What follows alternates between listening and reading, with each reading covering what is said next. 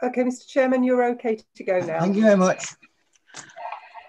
Welcome everybody to this virtual meeting of the of the Western Area Planning Committee.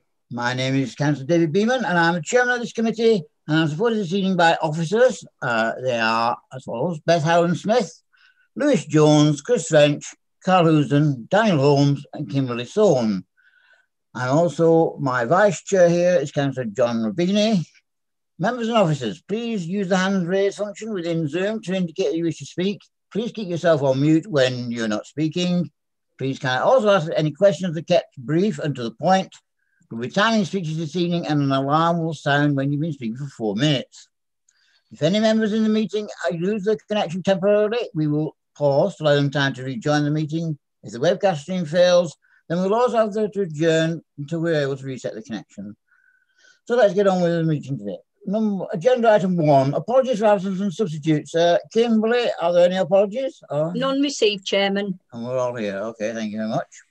Secondly, the minutes of the last meeting. Uh, to note the minutes of the last meeting held on the 22nd of December, which is published on the council's website. Is everybody agreed? Yes, presumably, yeah. Agreed. Uh, declaration, agreed. agreed. Thank you. Declaration of interest. Uh, Kimberly, any declarations of interest have been received? Non-declarations, Chairman. Okay, well, I'm going to declare that I'm now no longer a member of the Farnham Town Council Planning and Licensing uh, uh, Consultative Group. So I should no longer be, as a, as a non-declaration, non-declaration really. So can I just have that recorded in the minutes, please? You can, Chairman.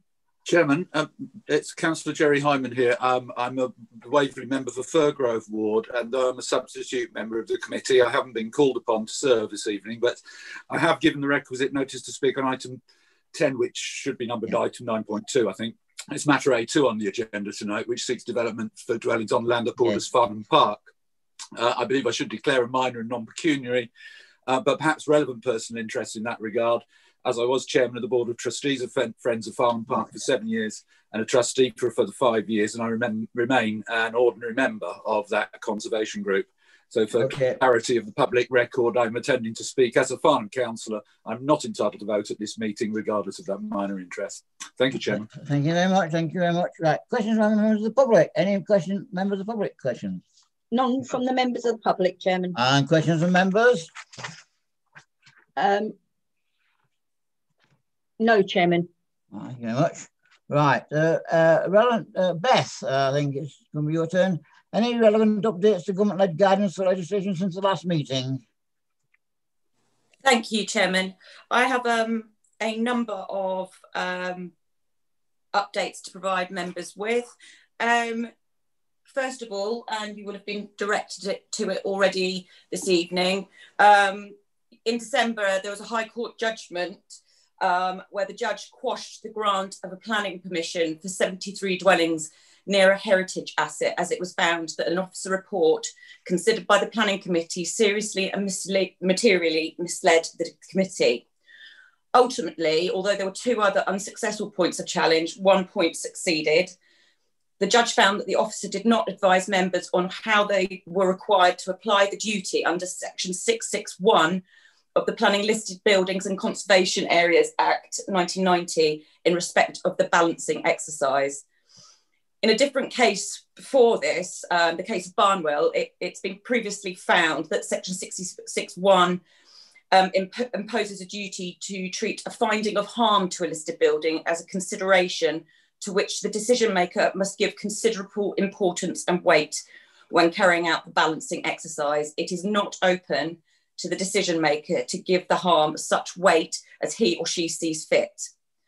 In this particular Guildford case, the officer was found to have made repeated errors of advising members to undertake an untilted balancing exercise, weighing the less than substantial harm to the heritage assets against the public benefits of the proposal without apparently taking into account the requirement to attribute considerable importance and weight to a finding of harm and providing clear and convincing justification for this harm. The judge concluded that had the committee known that they should attribute such weight to the identified harm, that they could have come to a different decision and the decision was therefore quashed. So that's the first update.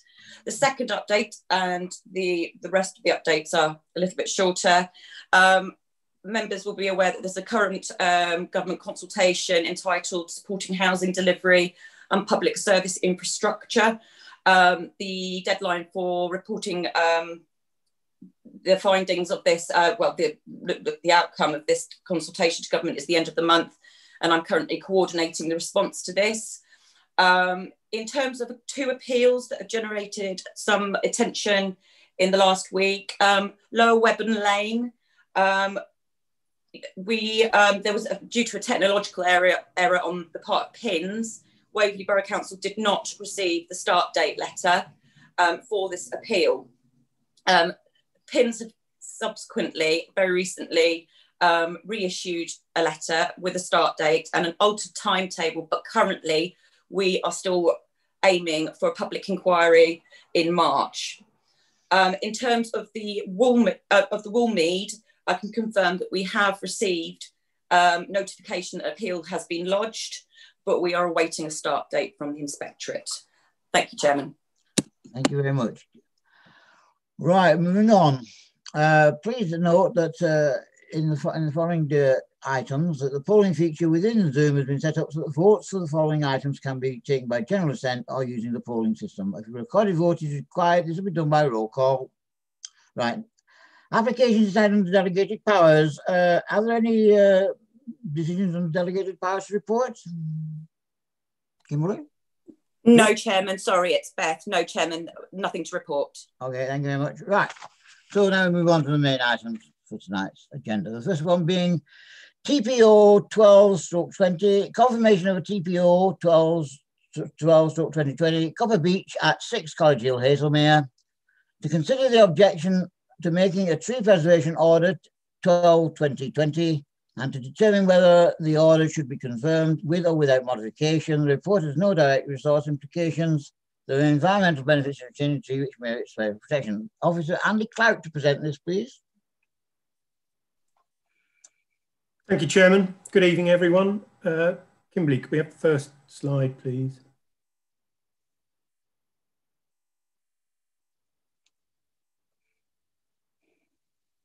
This presentation is uh, brought before members in respect of the report to decide whether a tree preservation order number 12 of 2020 should be confirmed following an objection being made by an interested party.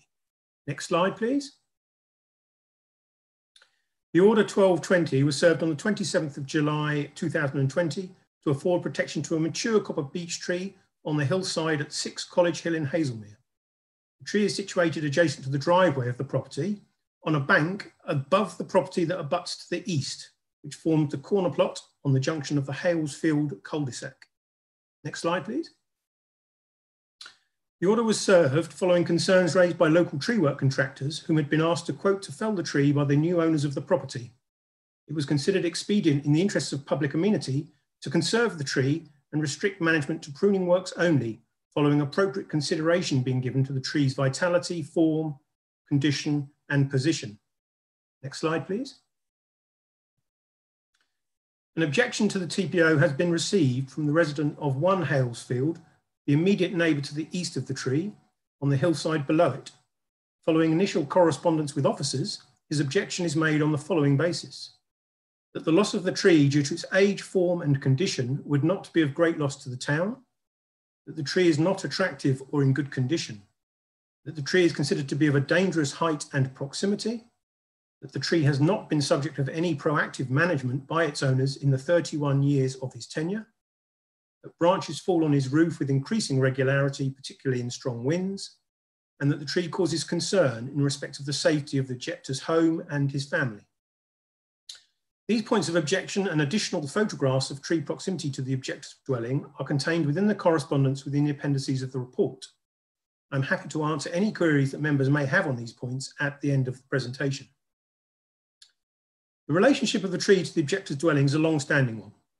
Although pruning may historically have been restricted to branches overhanging the property boundary to increase separation to the objector's dwelling, the new tree owner has proactively applied to manage the tree's growth and form, receiving consent to prune the tree in the autumn of 2020 and having had the work subsequently undertaken in December last year.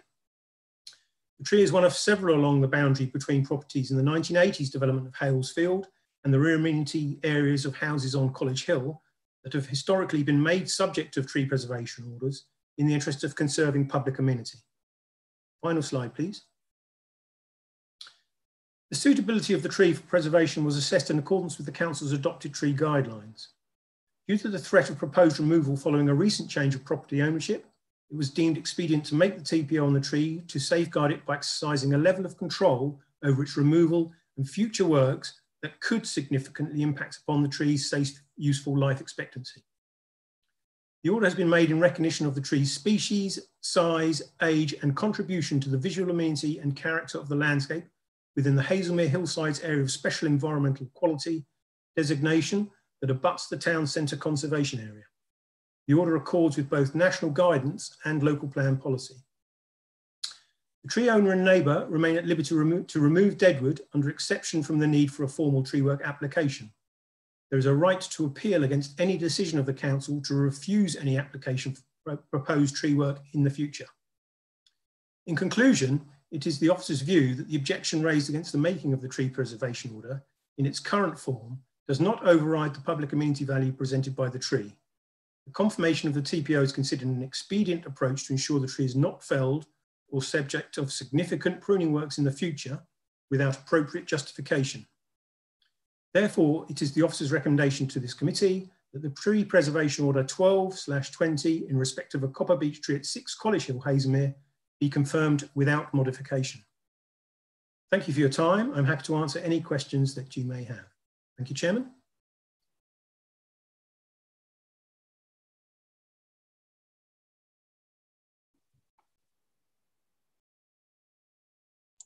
Thank you very much, uh, Andy. Um, we have uh, Councillor wishes to speak on this. Councillor Mulliner. Thank you very much, Chairman. Um, could I begin by complimenting both the objector, Mr. McQuillan, and Mr. Sutters, the owner of Six um, College Hill, who actually has the tree in his garden, on the very reasonable nature of their letters, which I find much more persuasive than sometimes rather angry letters that we get. I visited Mr. McQuillan and was shown the tree from his perspective. I also went to see Mr. Sutters, but he wasn't in, but it gave me the chance to look at the tree from the level of his drive. And it should be said that it's a very considerable fall of around about 25 feet, I think. And so you can well understand why Mr. McQuillan is concerned about the tree. Um, if you stand beneath the gutters of Mr. McQuillan's house, a really very good job of trimming has been done, presumably in December last year. And certainly, if a branch falls vertically, nothing large should hit his house. Having seen the tree from its ground level, it is a very fine specimen, and the pruning job that has been done looks very expert. I must admit, I began um, half expecting to have much more sympathy with the householder as to having a huge tree looming over you is a source of worry. And he had the unfortunate situation of a previous neighbour who did not care to do anything to the tree.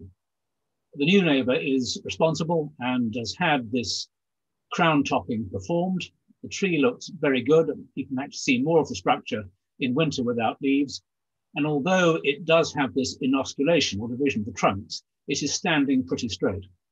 So, having listened to Mr. Clout and knowing him for many years as a man of great experience, I think the idea of keeping a very active watching brief on this tree while preserving it from unjustified pruning or felling is the right one. And I would certainly lend my opinion in support of the officer. Thank you very much.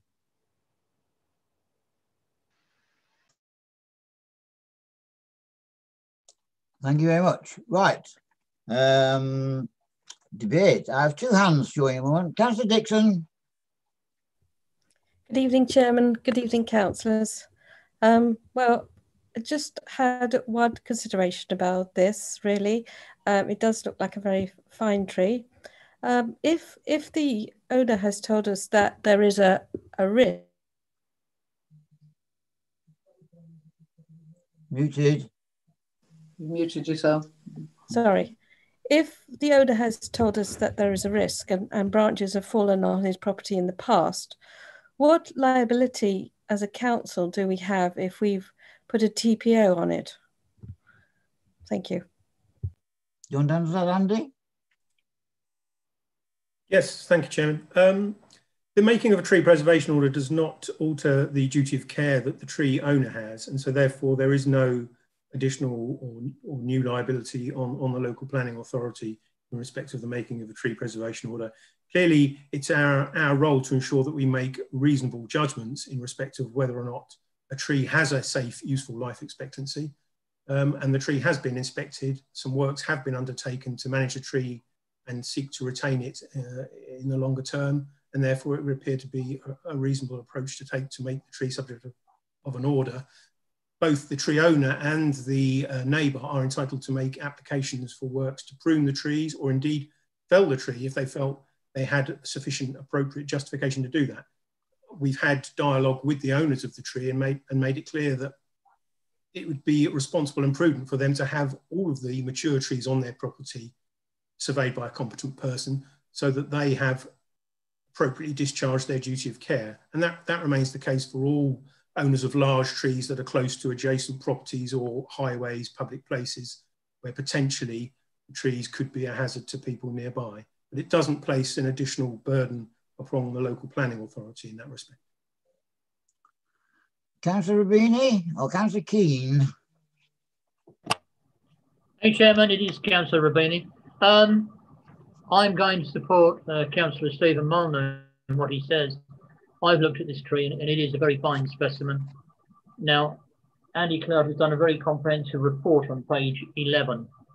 Now, as I understand it, this is basically um, stemmed from a neighbour who just would not look after the tree and caused um, the complainant a lot of problems with bits falling off. However, as we say in this report, the new owner of the tree, the neighbour, seems to be a much more reasonable person and he does understand what his liabilities are. So I, I would be all in favour of putting a TPO on this to preserve it. It is a fine specimen. And with a neighbour that is in fact now going to look after the tree, I see no reason why we wouldn't do it. Thank you. Councillor Edmonds? Thank you very much, Chairman. Is there any obligation to use a competent um, person to ensure the safety of the tree? In other words, is, how significant is the safety risk associated with this tree. Thank you. Andy? Thank you, Chairman.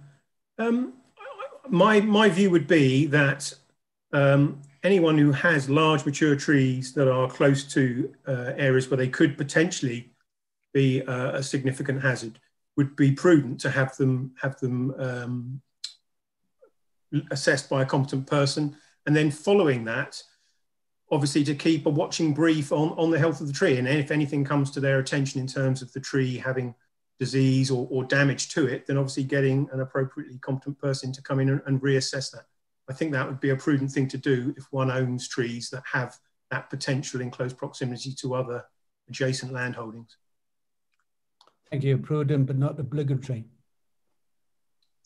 Thank you very much. Anyone else wish to speak? Right. No. Okay, that moves to the recommendation.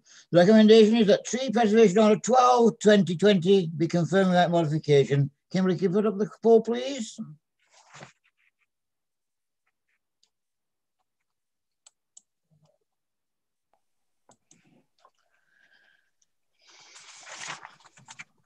Councillor Keane, four. Thank you. Right, so that, if I just share the results there, that's uh, 10 in, excuse me, 10 in support of the recommendation and two against and no abstentions. So that recommendation is passed. Okay, thank you very much. Now, shall we move on? Thank you, Chairman. Right. Goodbye. Sorry. Can we move on? Right, next one, application subject to public speaking. The first one is WA 2020-1356, land at 1 and 2 Old Dairy Cottages, Hillside Farm Churt. Uh, proposal to erect erection of two detached dwellings and associated works for demolition of two existing bungalows. Officers Carl Housden, could you please present, please? Thank you, Chair. Good evening, members. Um, there are no updates to report for this item. Um, I'll just wait for the slides to be brought up. You... So this application is for the erection of two detached dwellings with associated works following the demolition of the existing attached bungalows. Next slide, please. This is the location plan which shows the site outlined in red. The wider area contains agricultural buildings to the north, a dwelling to the south, two dwellings to the west, and to the very north is the Churt Place Nursery Scheme, which is currently under construction for 18 dwellings. Next slide, please. This is the aerial image which shows the fairly rural location of the site um, owing to being situated in the Greenbelt and the AONB. Next slide, please. Photo A shows the entrance of the site with the existing bungalows on the left and Hillside Barn, a recent residential conversion on the right. Next slide, please. Photo B shows the western elevation of the existing attached bungalows. Next slide, please. Photo C is taken near the existing bungalows looking towards Tilford Road. Most of the residential curtilage within the red line can be seen within this photo. On the right of the photo is the rear of the property of two Arvon cottages can be seen. Next slide, please. Photo D is taken looking towards the existing bungalow from the western edge of the site. Next slide, please. Photo E shows where the existing bungalows are divided, which is approximately in line with the chimney. Next slide, please. Uh, this is the proposed site plan it shows the two new dwellings to be constructed to the west of the existing, which is to be demolished. The existing curtilage should be divided roughly in the middle to create two garden areas for the proposed dwellings. Next slide, please. So these are the proposed elevations for dwelling A, which is the southernmost unit of the two. As you can see, the dwelling is single story stature with gable features. Next slide, please. This is the proposed floor plan of dwelling A. It, um, it is a single bedroom located within the roof and has a fairly small footprint. Next slide, please. These are the elevations for dwelling B, which is the northernmost dwelling. As you can see, it has a flat roof design, which limits the bulk and mass, and is also of single story. Next slide, please. It's the floor plan of dwelling B, which shows all of the floor area is at ground floor level, and this dwelling would have two bedrooms. Next slide, please. So the main matters of consideration are the impacts on the green belt. So as officer satisfied that as the scheme reduces the overall footprint of development at the site by approximately 26%, it would have an acceptable impact on the green belt. The impact on the AONB, AGLV and visual amenity, owing to being well set back into the plot and the unimposing stature of the dwellings, officers are satisfied that the dwellings have an acceptable impact within the landscape. Impacts on residential amenity, due to separation distances of at least 20 metres from all surrounding dwellings and the single story stature of the proposed dwellings, officers satisfied there would be no material impact on neighbour amenity. Uh, highway safety and parking provisions. The County Highway Authority has confirmed the, that using existing access is acceptable and officers satisfied the proposal would comply with the Council's parking guidelines. Thank you, Chairman.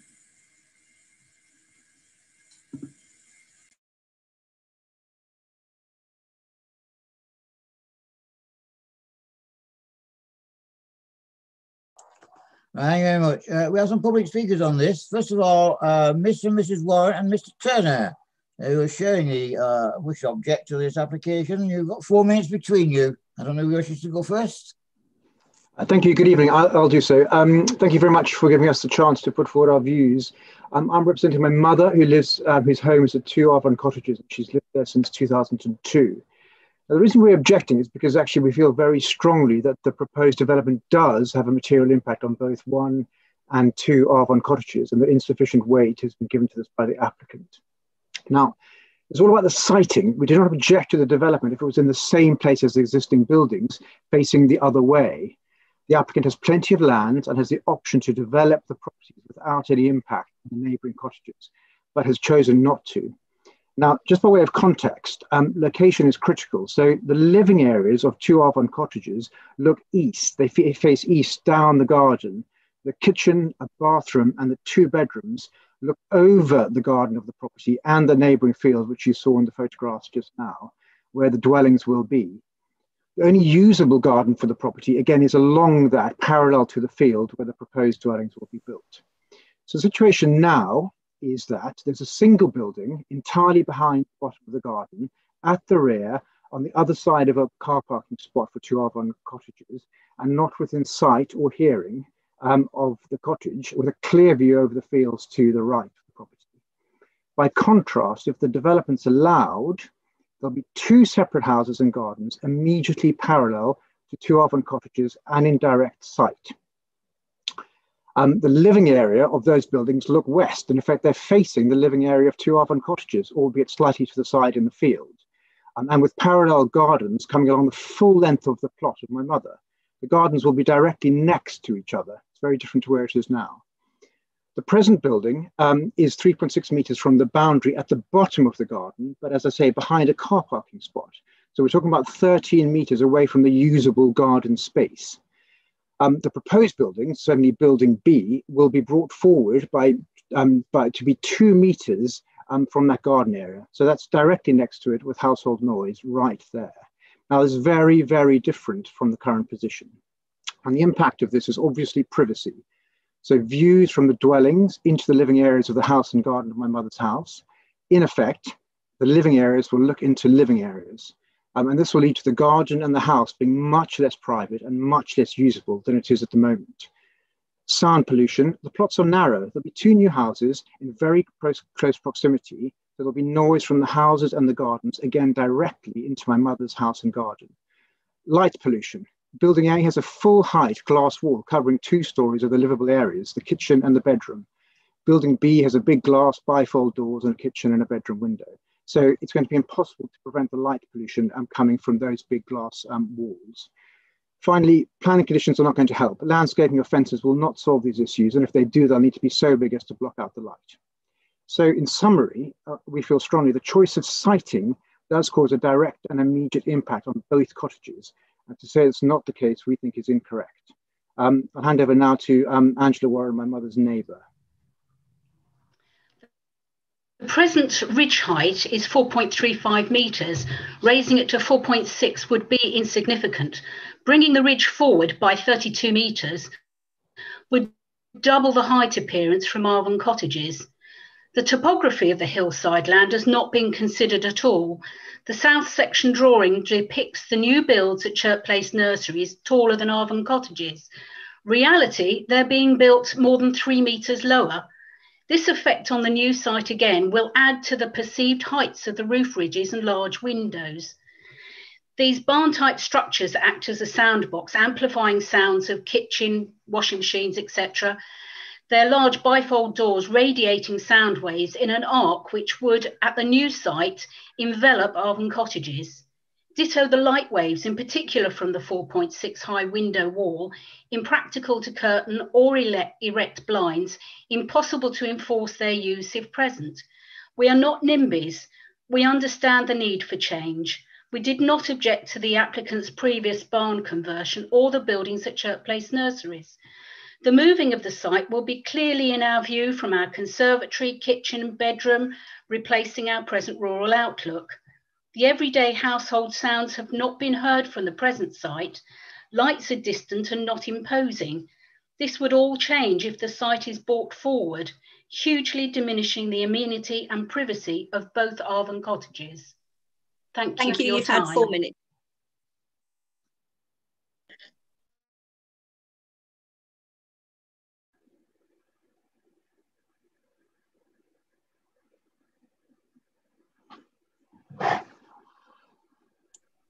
Uh, yes, okay. Now we've got uh, Chris Wilmers, Wilmershurst, the agent who wishes to speak in support of the application. Thank you. Thank you. Good evening. So I'm Chris Wilmshurst. I'm a planning consultant with Vail Williams and we're the agent for this application.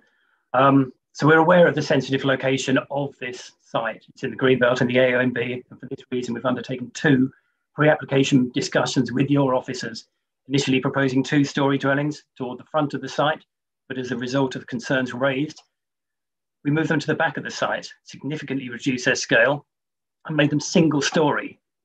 in line with the existing bungalow. As your officer's report notes, the application comprises former bungalow converted in the past to two dwellings now known as one and two old dairy cottages, sitting within the existing curtilage garden, which runs down to Tilford Road. The site comprises previously developed land in planning policy terms, so there's no objection in principle to this development, provided the replacement scheme would not be damaging to the openness of the greenbelt, and of course, taking into account amenity concerns, as you've heard. On this point, the figures quoted in the officer's report confirm that the floor area and volume is reduced considerably from what currently exists on site, a 26% reduction in floor area and a 22% reduction in volume. So the design concept has been to replace existing nondescript semi-detached bungalows with two new dwellings, each single story and reminiscent of agricultural buildings. They form a cluster of buildings with those existing on site, a bit like a farm courtyard with an open area in the centre forming an orchard. So the impact on Arvon cottages has been considered carefully through our, our own design and your planning officers. The new, new dwellings are located between 24 and 25 metres from two Arvon cottages, the nearest dwelling. That's greater than the normal guide figure of 20 metres between the rear elevations of two-storey dwellings. Additionally, the proposed dwellings are both single story, no first floor windows looking towards Arvon cottages. The proposed dwelling closest to the boundary of number two Arvon cottages, that's dwelling B, has a flat roof single story element as its nearest point to minimize impact. The height of this dwelling is four meters.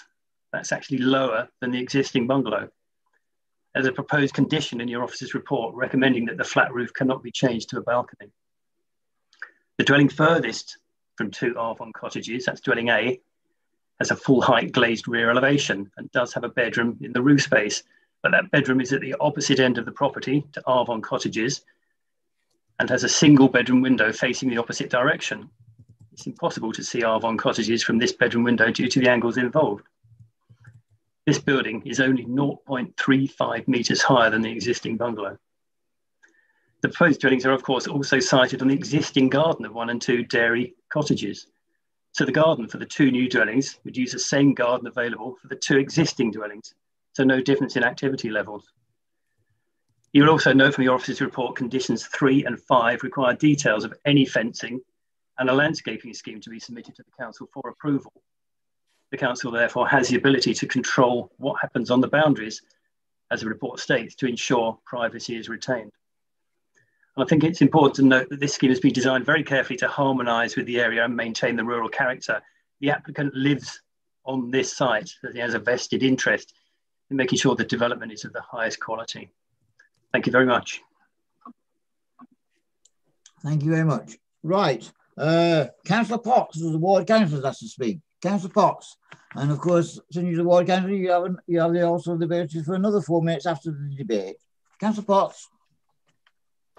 Good evening, Chairman and um, members of the committee. Um, thank you, Chairman and, and Vice Chairman, um, first of all, for agreeing to this call-in. And my thanks also to um, Carl Housden, the case officer, who has been extremely helpful in helping me to manage a number of questions from local residents uh, about the application, especially given the um, recent planning history at the farm, where we've seen the barn conversion um, to, of Hillside Barn, and we also had uh, permission granted across last year for um, the uh, new stables and storage area. Um, and we now have this proposal. Now, I'll just briefly put the, this calling into some context for uh, members because I'm sure some of you are, are um, wondering um, why it is here before you this evening. And there's only one reason it's here this evening. It's purely about the siting of the proposed development of two new dwellings. We have a site that has already been stated is Greenbelt, AONB, and AGLV. This is a rural site. This is not a site in a built up or developed area. However, we have a proposal to demolish the existing dairy cottages, which, as we have already stated in itself, is not an issue. The issue is about the location of the new development, which is not on the site of the existing buildings that are to be demolished. The proposal and the proposed siting of the new dwellings halfway down what was in actual fact, until very recently, it became a mown area, an open field that was used as grazing land, siting it parallel to two Arvon cottages, as you saw in the earlier picture, and within two meters of their garden area, moving it in overall some 28 meters forward towards Arvon cottages is a significant change. I would draw your attention to page 33, paragraph 10 of your report, which talks about the impact on the green belt. Well, to pick up on the last part of the sentence, moving the buildings from the current site is inappropriate development because it significantly impacts negatively the residents' homes and garden amenity at Arvon cottages and is unnecessary. Mention at the bottom of page 35 of your report about church nursery developments doesn't actually cover the fact, as has already been mentioned, that it is both further away and built some three to four meters below the level of Arvon cottages. So it does not in any way overshadow or overlook Arvon cottages. Mention of the now converted hillside barn in the report before you almost implies that this would improve its amenity. Improve the amenity of hillside barn at the cost of Arvon cottages. Is that what we're saying here? Surely that cannot be right. I agree with the speakers who put their objections so eloquently. The proposed development does indeed have a material impact on Arvon cottages. What I'm asking, as I ask the officers to try and relay to the applicant, is to site the new dwellings on the existing old dairy cottages site turned at 180 degrees, which vastly improves the view of these new dwellings and their outlook across open countryside, and therefore does Four not minutes, Chairman. negatively on Arvon cottages. And for these reasons, Chairman, I'm asking the committee to refuse the application this evening. Thank you. Thank you very much. Uh, right, uh, committee, who wishes to speak on this item? Anybody? Nobody? No? No one, No, no councillor to speak? Councillor Edmonds, uh, oh, uh, uh, yeah, Councillor Edmonds, and Councillor Deer. Councillor Edmonds, you're muted. Sorry, Chair. Thank you very much. I've, I've looked and I've listened to all the information and I have three problems. The first is light pollution under Planning Framework 180C. Light pollution to me in the green belt is a significant issue and should be considered. And the other problem I have is retain local plan policies, D1 environmental and D4 design and layout. I can't see that is the design actually complies with the, this policy. So under those circumstances, I couldn't vote in support of the application. Thank you, Chair. Councillor Deer and Councillor Cockburn. Councillor Deer. Thank you, Mr Chairman. Um, I can understand uh, a degree of frustration on the part of the applicant, having gone through the process that uh, it, it has uh, in taking pre-app advice and all the rest of it. Um, and it's a situation we've come across before in uh, our committee. Uh, but I have to say, I was um, profoundly impressed by the reasoning and the accuracy and the focus on material planning considerations that Councillor Potts has just put forward.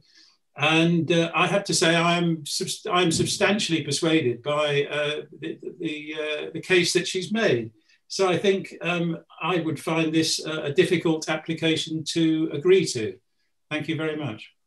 Councillor Cockburn. Thank you very much. I'm, I'm confused by this in many ways.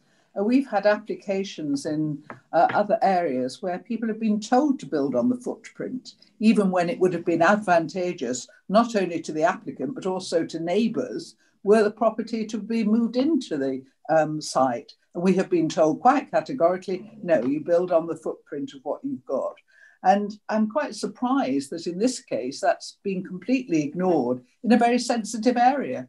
The areas I'm talking about weren't particularly sensitive, they were just I thought could have been better developed. Um, I was worried about this uh, long before this meeting when I read it. Uh, I just feel that it, it's like so many that we're getting at the moment. They just seem to be, to me, unneighbourly, I think is, is the word I'm looking for. There is always light pollution, there is always overlooking. And we don't seem to say to people, well, look, hang on a minute, is there a better way to do this? And I think had we gone back to saying you build on the uh, uh, the footprint of the existing building, we'd have got rid of most of the queries that I have now in terms of overlooking and the effect on the on the two cottages of which we've already heard. Um, I, I, I'm just thoroughly confused that we've ended up with something that to me doesn't work on a site that isn't as constrained as many of the other sites we look at.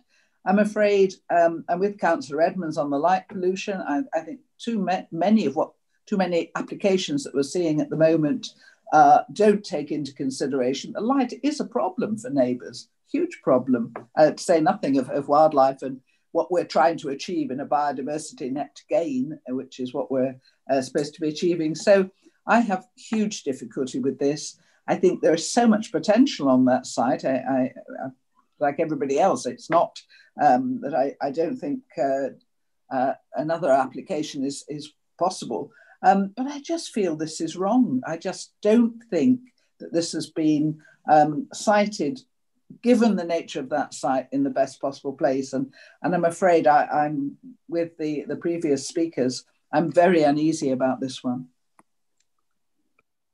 Thank you very much. Uh, Councillor Rubini or Councillor Keen? Thank you, Chair, it's uh, Councillor Rabini again.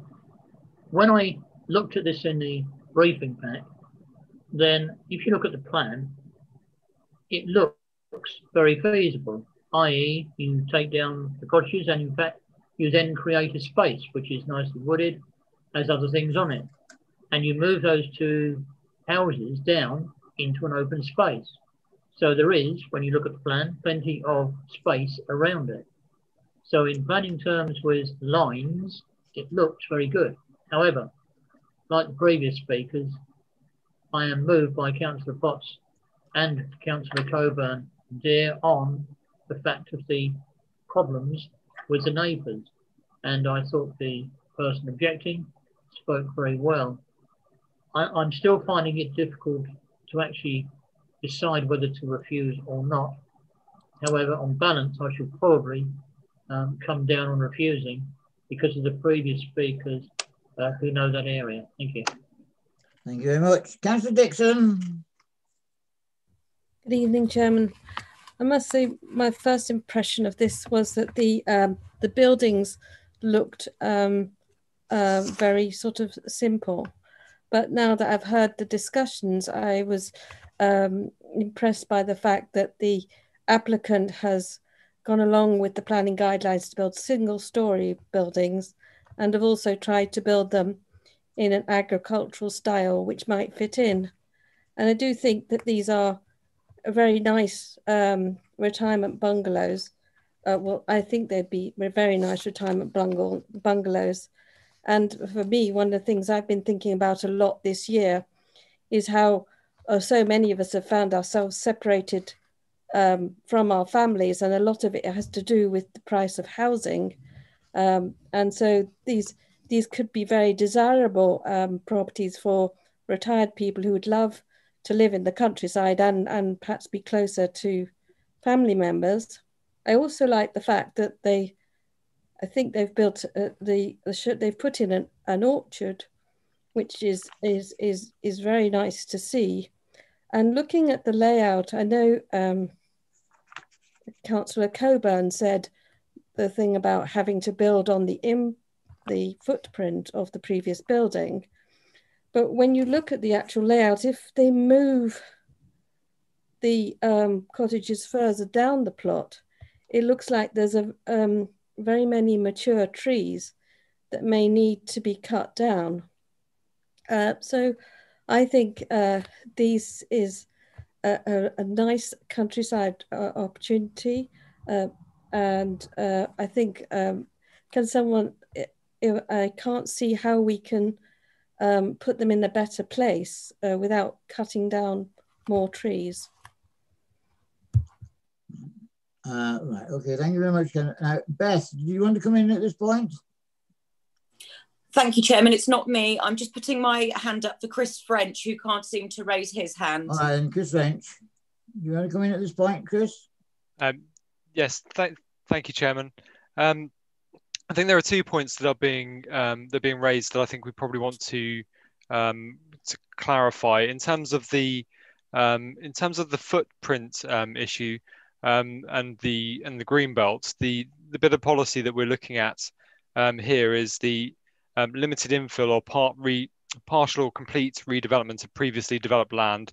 and the test is that it should not have a greater impact on openness of the green belt than the existing development or cause substantial harm to the openness of the green belt. Um, the there isn't a requirement in there that that has to be on the existing footprint. So I think really uh, the conversation probably should focus on whether, if there is a concern about green belts, that um, that that is um, whether it has a greater impact or or not necessarily not rather than just whether it's on the um, on the footprint.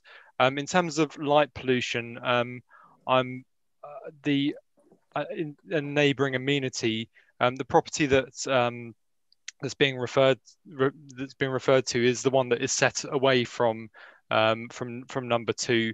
I think the the impact from that, and so as far as officers is concerned, is not it's not going to be so substantial that um, that it would um, yeah that would would cause a adverse impact in terms of light pollution on on neighbouring um, neighbouring properties. Um, it's, it's, yeah, it's not different to what you might get on a on a on a kind of standard residential um, property from our our perspective. Um, so I, I think in terms of identifying harm to neighbouring amenity on those points, it would be quite difficult to defend. Um, thank you, Chairman. Thank you. Councillor Adams. Yeah, thank you, Chairman. I'd just like to add um, one factor to my um, co-councillors' um, comments, and that is that this area is all part of the uh, ANOB dark area. So these extremely large windows are not really appropriate because you put on you put on big lights like that or big windows like that as uh, as was said it's very difficult to curtain or obstruct that light and uh, at the moment, there seems to be um, not nearly enough uh, uh, consideration of the fact that in dark areas, we're trying to make sure that um, the fauna are not disturbed at night. Thank you.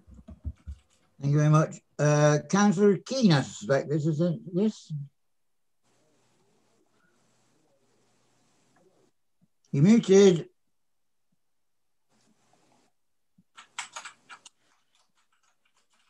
Still muted. Still muted. uh, can, can do you, Councillor. Uh, Councillor we'll come back to you, Councillor King. Councillor Cockburn. I'm here. I'm, I'm here. Oh, Councillor, Councillor Jackie Keen's here now. Councillor King, yes? Yes, thank you. Um, Councillor Adams has um, touched on exactly what I was going to say, that um, in dark areas, these large windows, um, they can be an absolute aggravation to neighbours. And I feel that, um, as Councillor Cockburn said, had these dwellings been put on the footprint of the previous um, bungalows, um, it wouldn't have caused half as much harm to the neighbours. And I often feel that it's quite sad that when developers go into um, to, to look at an area, that more conversation isn't had with the neighbours um, adjoining or next to the properties um, to make sure that there can be some um, reconciliation of what's being built and how it's going to impact on the neighbours.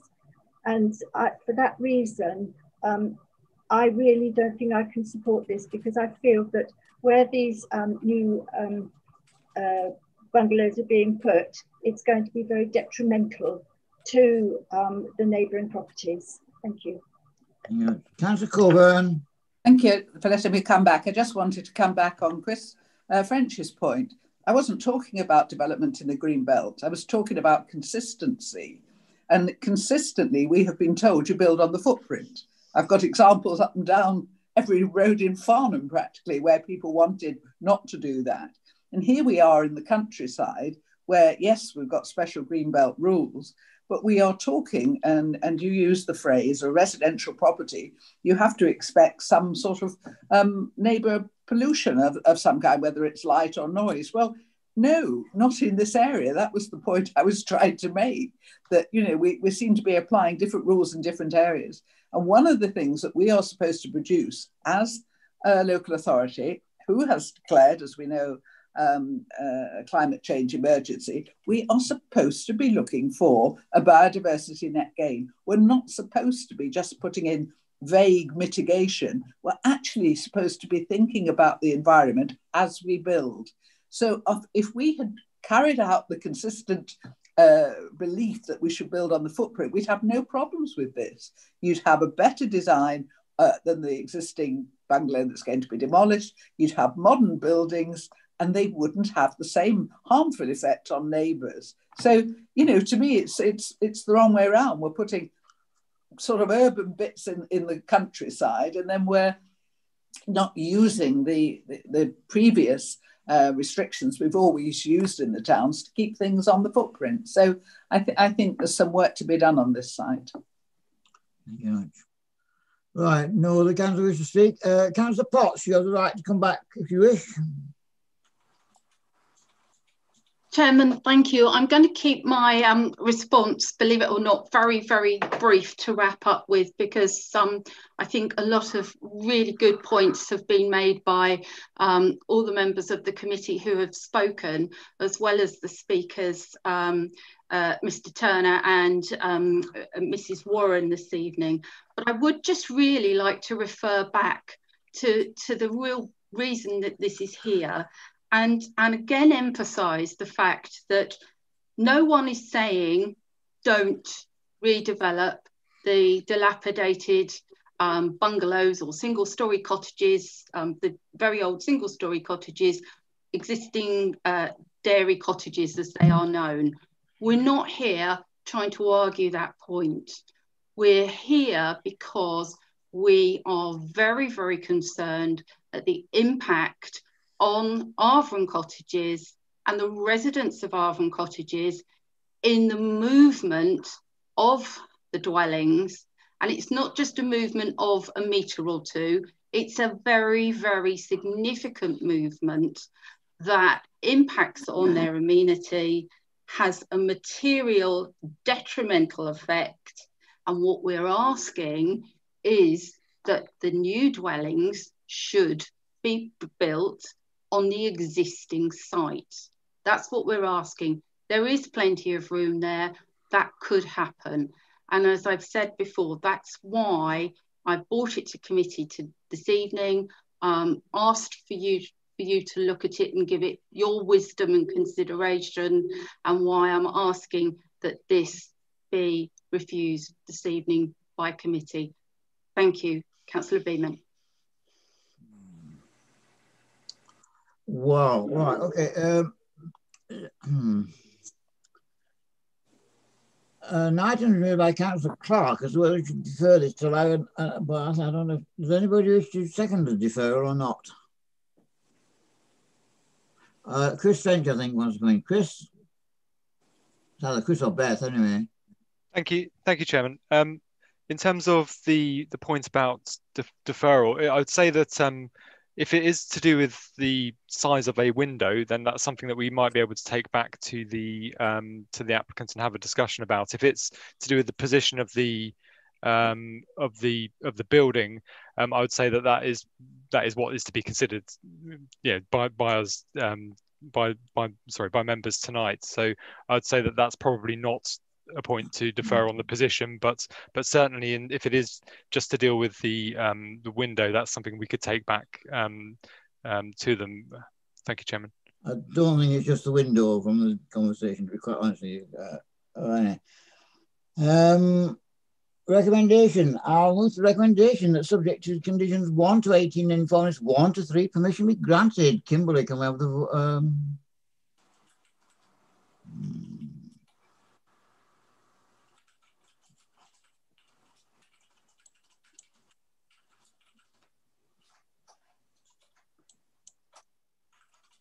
Councillor Keen against. Thank you, Councillor Keen. So if I just share the results there, that's um, two votes in favour and 10 against and no abstentions. So that recommendation has failed. Okay. Right, we need an alternative recommendation then. Anyone just propose one? No. Anyone wish to propose a, a refusal? I'll always propose an alternative recommendation. Sorry. And Councillor Adams, yeah, sorry, Councillor Adams, yeah, that's it, yeah. Right, okay, so we need reasons for um, refusal. Anybody wish to put forward any suggestions? Uh, for the relocation of the site from its original footprint and um, the, uh, the uh, le less, uh, sorry, reduction in amenity to the neighbouring cottages, um, one and two, okay. one and two next door, um, and uh, the uh, not because failure to consider light pollution in a dark area. Right, Chris, uh, Chris,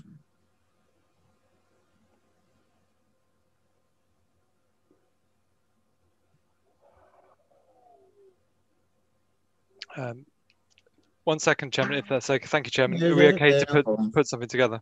Have I got a seconder? yes, you got Seconded. uh, Cal Cockburn, I think.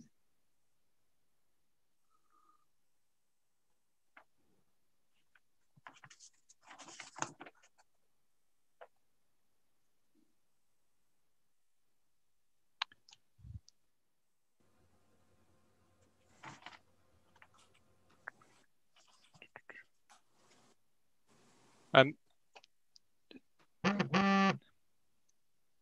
Yes, Chris.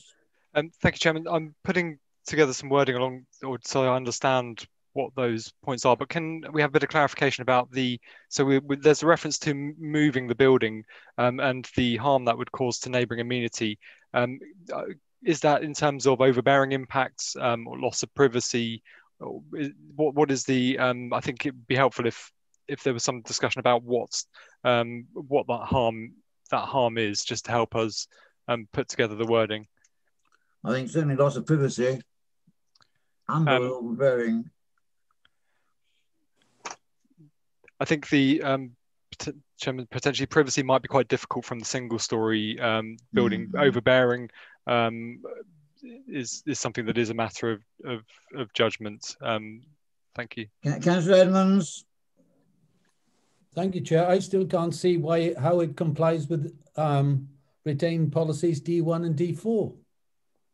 Certainly D4. Councillor Cockburn has her hand up, Oh, Chair. sorry, sorry, sorry, sorry, Councillor Cockburn. had about three up at one point. Still didn't, Sorry about didn't that. get anywhere. Um, it was just looking at the conclusion of the previous of the um, report, and it said it wouldn't harm the character of the area, the neighbouring amenities, or ecology. And I think that is um, is quite the opposite. I think because of the proposed sitings of these dwellings, it would harm the neighbouring amenities. I don't think there's any doubt about that, uh, due to um, a loss of privacy, and it would harm the ecology you cannot um, put light in a dark area and not harm wildlife. I mean, it just doesn't happen. So, um, you know, we would be, I think, um, causing harm to the local ecology. Okay. Does that help you, Chris? Yeah, thank you, thank you, Chairman. I've got a um, reason in terms of um, in terms of amenity, if that helps, that I can I can um, I can uh, read out and share if that is helpful. Okay, fine, please do. Um, so the, the proposal by reason of its siting um, would result in a um, in an unacceptable overbearing impact to the neighbouring property of two Avron cottages. Um, the proposal would conflict with policy TD1 of the local plan 2018 and policies D1 and D4 of the of the Waverley Borough Council local plan 2002 and the NPPF. Um, the I think uh, yeah, in terms of the impact on ecology, um, I mean that would obviously have to be a separate reason for refusal. But I'm, I, I think it might be a very difficult one to defend at um, at, at, appeal. Um, is is I haven't got the wording to hand for that though. Um, yes, I can understand now. I think so. so just what you could you see what you said about before this is a sole reason? You mean, are you, sorry, Chairman? Oh, um, yes, as Chris talking about the light pollution. Um, it is in, it, to, the recent um, ANOB management plan specifically says that dark areas should be preserved. And so it would be in conflict with the ANOB Surrey Hills management plan to allow um, large additional light pollution in this area.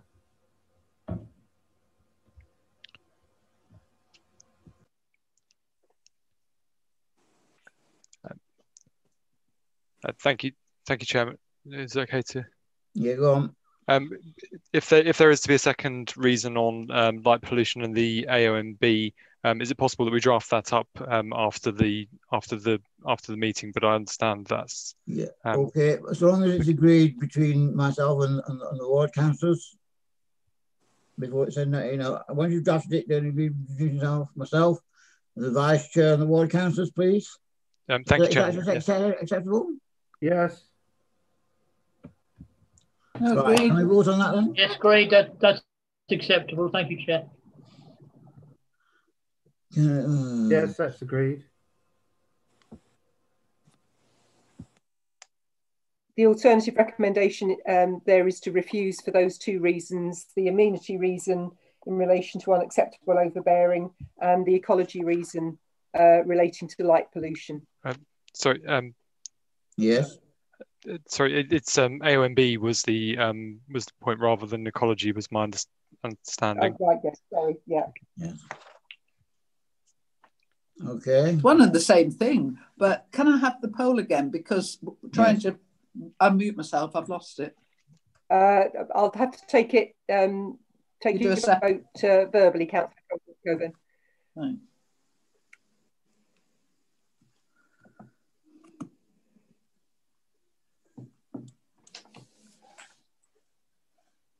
Councillor Cockburn, you're voting in favour of refusing, I take it. Yes, I'm, I'm for the alternative proposal, I presume. Thank, yes, thank you. Um, and Councillor Keen, can you just confirm which way you're voting? Yes, for the alternative proposal. Okay, thank you. So um, if I just share the results, that's 11 in favour of the uh, recommendation to refuse, none against and one abstention. So the, the application is refused. Thank you very much. With the wording of the uh, actual refusal to be agreed between myself and the vice chair and the two ward councillors, is that acceptable? Okay, thank you very much. We move on. The last item for tonight.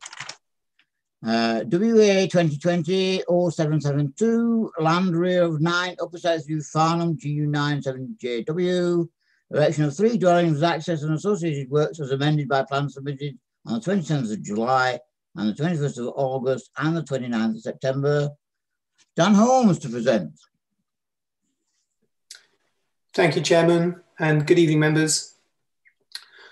There are two verbal updates to the report with regards to paragraph 8, relevant planning history.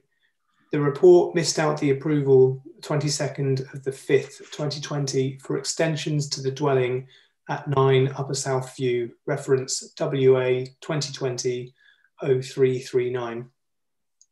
Secondly, paragraphs 12, 17, 18 and 19 incorrectly make reference to the application site as Upper South Road rather than Upper South View. This application is for WA 2020-0772 and seeks planning permission for the erection of three dwellings with access and associated works as amended by plans submitted 27th of the 7th, 2020 and 21st of the 8th, 2020 and 29th of the 9th, 2020. This application has been brought before the Planning Committee at the request of Ward Member Councillor Michaela Martin to further consider matters of character, neighbouring amenity and highway safety. The application site is within the built up area where the principle of development is acceptable. The proposals, uh, the applications, sorry, the proposal is acceptable with regards to the impact on character and residential amenity Therefore, the application is recommended for approval. The application site is located to the north of Upper South View, a no-through road immediately adjacent to Farnham Park. The site comprises a four-bedroom detached family dwelling with large rear garden. The nearest neighbours are 3, 5, 7 Upper South View to the southeast and 29, 31, 33, 35, 37, 39, 41, 43, 45 and 47 High Park Road to the south. An emergency access and pedestrian entrance to Farnham Park is located to the north of the application site. Next slide, please. The aerial view shows the position of 9 Upper South View pinpointed in the centre of the aerial shot. The land where the proposed dwellings are located is largely covered in greenery and has heavy tree coverage on the northern boundary. Next slide. The block plan indicates the proposed dwellings with the larger family dwelling identified as plot one and the two flats as plot two and plot three. Parking and associated hard standing for the proposed dwellings would be to the north of the application site with amenity space to all plots to the south. Parking for number nine Upper South View would be retained to the rear of the existing garden. The front elevations of plots one, two, and three would be set a minimum of 6.8 metres from the boundary of Farnham Park. Flank to flank separation between plot one and plots two and three would be 4.3 metres. The rear to rear separation distance between plot one and 33 High Park Road would be approximately 37 metres and 11 metres from the common boundary. The rear-to-rear separation distance between plots 2 and 3 and properties on High Park Road, 35, 37 and 39, would be approximately 35.5 metres and 8 metres from the common boundary at its closest point. This would be in accordance with Chapter 8.1 of the Council's Residential Extensions SPD, which states as a general rule of thumb that there should be a distance of at least 21 metres between proposed windows and those of neighbouring properties. Given the nature of the long gardens that characterise High Park Road, officers are satisfied that the proposed dwellings would have no harmful impact on the neighbours mentioned in terms of overlooking. Three and five Upper South View are located to the southeast of the application site. The nearest window to these gardens at first floor level serves a kitchen with light also available from two other windows serving a sitting room. A condition has been applied for the kitchen window to be obscurely glazed, therefore the application would not harm the amenities of 3 and 5 Upper South View. Next slide, please. Some photos of the site. Photo A shows the view looking northeast from the rear garden of 9 Upper South View. This view would look towards the rear gardens of 29, 31 and 33 Upper South View. Next slide. B, this is taken from the rear garden of 9 Upper South View and looking northeast, showing the rear elevations of 5, 7 and 9 Upper South View. Next slide, please. Photo C is taken from the rear garden of 9 Upper South View um, and looking southwest, showing the extent of the size of the plot. Next slide. Photo D is taken from the rear garden of 9 Upper South View and looking north towards Farnham Park. The photo shows the extent of coverage along the boundary. Next slide, please. Photo E is taken from the upper south view looking northwest towards the emergency access at Farnham Park. The photo shows the existing parking arrangement along upper south view. Next slide. Photo F is taken from the, the public footpath looking southwest from, from Farnham Park. The photo shows the extent of coverage on the boundary and also the, the termination of upper south view. Next slide. Photo G, this is taken from uh, 9 Upper South, looking northwest towards the access point of the proposed new dwellings adjacent to Farnham Park. And next slide, last photo. Photo H, this is taken looking west from Upper South View. The photo shows the access point of the proposed new dwellings adjacent to Farnham Park. Next slide, please. The elevations, um, this is for plot one. The proposed dwelling would be approximately eight metres in height. Next slide, please. This slide shows the elevations for pro proposals for plots two and three. Uh, and the proposed dwelling would be approximately 8.24 metres in height. Next slide. The floor plan illustrates the ground floor and first floor plans of plot one.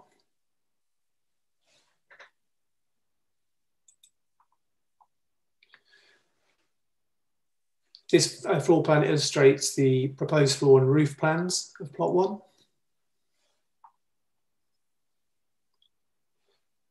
The floor plan illustrates the ground floor and first floor plans of plots two and three the, the gross internal area for plots two and three would be 75 uh, meters squared per plot. Okay, vertical analysis. Um, this indicates that the proposed dwelling would comply with the 25 degree rule for vertical analysis. Officers note the comments made by neighbours regarding the distance between habitable dwellings being underneath the stated 21 metres within the council's residential extensions document. However, the 21 metres identified refers to the stopping distance, i.e. where the rule no longer applies. The view was taken that owing to the, the amendments made to the plans, the proposed dwellings would not exceed the 25 degree angle and therefore no harmful impacts on numbers 3, 5, 7 and 9 upper south view in terms of loss of light would result. Next slide, please. The key design, um, the key matters for consideration. Officers have given consideration to the proposal and considered that the proposed erection of a detached three bedroom dwelling and the erection of two two bedroom flats would be acceptable for the reasons set out in the officer report and mentioned above. Officers considered the main matters for consideration to be heritage considerations. The site was assessed by the council's conservation officer and has considered the impact of the proposal on the heritage asset's significance, taking into account paragraphs 190 to 192 of the NPPF. The proposed dwellings would be no closer than the existing dwellings adjacent to the park and would be seen within the context of the developed residential area. Therefore, having given great weight to the heritage assets conservation, no harm is identified and the application is acceptable on heritage grounds. Officers identified no harmful impacts on the street scene. with regard to the AGLV, the site and proposed proposal sit within the context of the existing built form of the developed area of Farnham, and therefore would not be considered to be harmful to the landscape character of the surrounding area. Impact on residential amenity. The agent has presented a suitable scheme that would comply with the Council's Residential Extensions SPD, Officers considered there would be no harmful impacts on the neighbours on Upper South View and High Park Road. Impact on highways, parking and access. The application is supported by a transport management plan and a framework construction management plan. The County Highway Authority have assessed the proposal in regard to its impact on highway safety and is satisfied with the details set out in the framework construction transport management plan and the measures outlined to ensure safe access to the site during construction. In addition, the Highway Authority is satisfied with the additional information provided in the framework CTMP, including the swept path analysis. Despite the narrowness of the road, they are satisfied that safe access can be achieved. With regards to emergency access, Surrey Fire and Rescue Services requirement is for vehicle access for a pump appliance to be within 45 metres of each dwelling. A fire appliance can reach the end of Upper South View. Taking measurements from the site plan, the distance to the furthest dwelling is estimated to be 45 metres, therefore acceptable. Impact on trees. The Council's Tree and Landscape Officer has assessed the site and the arboricultural method statement in support of the submission and the proposed services routing is outside of the tree's RPA and acceptable and the proposed development would result in no material harm to the off-site WBBC owned beech tree in Farnham Park and the surrounding landscape. Finally, the effects on the SPA. The, the appropriate assessment has been agreed by Natural England, who conclude that the proposal would not affect the integrity of the SPA and the proposal would not have an unacceptable impact on the SPA. On balance, the proposal is considered acceptable Therefore, the application is recommended for approval. Thank you, Chair. Thank you very much, Daniel. I have some public speakers on this. First of all, is Serena O'Donnell who wishes to object, uh, an objection to the application. Serena, you have four minutes. Thank you. Good evening, everyone. I'm representing not only the residents of Upper South View and High Park Road, whose immediate amenity and day-to-day -day quality of life will be hugely impacted if permission for this development is granted, for all 40 objectors to this proposed scheme. To set the scene, the proposed development is in a residential garden bordering the south side of Farnham Park, metres from the main footpath. Before the site was cleared, it was an extension of the park itself, providing a natural transition from parkland to gardens to residential streets. It's on a slope, and as such, the garden itself overlooks most of the surrounding neighbours, especially since the site has been cleared in its entirety, so there is no natural screening, and no screening from the park in winter. Given the position of the site and the proximity to the neighbouring properties, it's difficult to see how the officer can conclude there is no impact on amenity. The proposed development is overbearing and would overlook all of the neighbouring properties and their private amenity space on Upper South View and High Park Road, not just from the first floor, but from the ground floor too. This has not even been mentioned, nor has the amenity impact on each affected property been properly considered. Just now, Dan Holmes did not even mention 7 Upper South View in his presentation, presumably because the development is only 12 metres from the rear of his property and therefore has a huge impact on its amenity. There's also minimal on-site parking for residents once built, simply because there isn't room on the site. The key reason that this application should be refused is due to it being next to Farnham Park, a Grade 2 listed heritage asset, which is the jewel in Farnham's crown and a hugely popular park, which must be preserved and protected at all costs. The proposed properties would not fit in with the historic character or pattern of surrounding houses, which means that the development is in direct contravention of the Farnham Neighbourhood Plan, the local plan, and the Farnham Design Statement. Furthermore, they would create an urban boundary that the park doesn't currently have. To replace the garden with a road and three new builds cannot be considered to enhance the character of the park or the local area. The proposed properties hugely impact the views from the park of the historic rooftops and St Andrew's Church, and these views are protected in Farnham's design statement. It's hard to see how the planning officer can conclude there's no harm to the heritage asset when the proposed development is so close to the park. Further development of the site will impact wildlife in the park and pollute an otherwise quiet park area with residential light and noise. It sets a potential, a potential precedent for even more urbanisation in neighbouring roads. The proximity and particularly tall ridge heights of the proposed dwellings completely change the setting of the park enjoyed by many. Moving on to parking, traffic, and road safety, there is a huge impact on residents and other park users. The extra vehicles visiting the road that would be generated by these three additional properties, not just through their residents and visitors, but also their deliveries and any cars wanting to use the turning head, will increase the traffic exponentially on a current no through road. Pedestrians use the road to access the park, often walking in the road itself, and as such, it's vital the traffic is limited to protect pedestrian safety. No other roads leading up to Farnham Park have a turning head or an additional access road at the top for this exact reason. To conclude, and to, to quote Councillor Cockburn, the proposed development is unneighbourly. It's controversial as it relates to backland development in an area which could set a dangerous precedent for urbanisation along the southern boundary of Farnham Park. It's clearly visible from the park itself and would have a massive impact on the outlook from this Grade 2 listed heritage asset. The officer's report has not properly considered the amenity of each of the surrounding dwellings, nor the park, and therefore the wider Farnham community. Thank you. Thank you very much. Uh, Janet Long, who is speaking in support of the application. Janet? Good evening. Can you hear me? Yes. Thank you. Good evening, members. I'm here to speak in support of the application. The scheme was subject to a pre-application inquiry in May 2019, seeking the acceptability of residential development on the site. In their response, your officers confirmed that the principle of development was acceptable, but suggested an amended layout and content.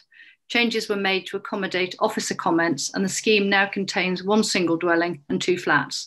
In addition, in addition, the orientation has been changed to reflect the pattern of development in the adjoining area. The size of the buildings has also reduced to lessen the impact on neighbours. The development is now lower than neighbouring houses, which reduces visual impact and ensures the visibility is decreased from the footpath to the north. In terms of density, the proposals replicates the spacing of properties which are found in the immediate vicinity, and the scale and bulk of the proposal is considered appropriate and would be proportionate to the plot size of surrounding development. It also follows the pattern and form of recent developments to the rear of development um, of, of, housing along uh, surrounding areas. This was accepted by officers at pre-application stage and is reflected in the current recommendation to grant permission. The distances of the proposed dwelling to neighbouring property in High Park Road at over 35 metres is considered acceptable, and your officers are satisfied that there will be sufficient separation distance to have no harmful effect on these properties or the houses in Upper Southview. We therefore believe density orientation and overlooking will not have a negative impact on neighbouring amenity.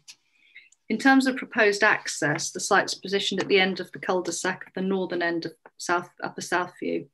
It's acknowledged that the road is narrow with pressure for on-street parking. However, the development can provide off-street parking to meet council standards for the three new units, and accordingly, we believe there won't be any increased pressure for parking on the public highway. We note the Highways Authority has not objected to the proposal on the condition that the new turning head is provided using part of the applicant's land. This can be achieved and will in fact improve turning within the road for all road users and should therefore be welcomed. Cycle parking can also be met. In terms of impact on the visual aspects of Farnham Park, the application site is located immediately south of the park. However, the development will not encroach on the park beyond the existing residential garden boundary. Furthermore, in replicating house designs and using materials which are similar to those used in the immediate area, we believe that the development will actually respect and complement the area's character and will, will not result in harmful views out of the park. Rather, it protects and enhances the heritage asset and its immediate surrounding. Overall, the site will be well screened from views. Mature trees along the northern boundary will be retained and additional planting is proposed to further screen the development. In all respects, the development would not represent a prominent development within the local area when it's being constructed and the additional planting has been planted. Given the merits of the scheme, we do hope you're able to support the proposal this evening. Thank you very much. Thank you very much, Janet. Uh, right, uh, the ward councillor, Councillor MacLeod, wishes to speak. And of course, as ward councillor, you have the right to speak after the debate as well. Councillor MacLeod. And thank you very much, Chairman, and good evening, councillors, and to the members of the public and to the two public speakers, and thanks for their good presentations. Um, as the, the Chairman said, I'm the ward councillor, and my fellow ward councillor, uh, Michaela Martin, called the application in with my support. Um, I don't often refer to typos or, or small errors in reports, but I can't resist pointing out in the, in the officer's report Michaela was referred to as Councillor Martino, which I think is very much the Italian version of her name. I don't know if she'll be flattered or offended by that, but probably flattered.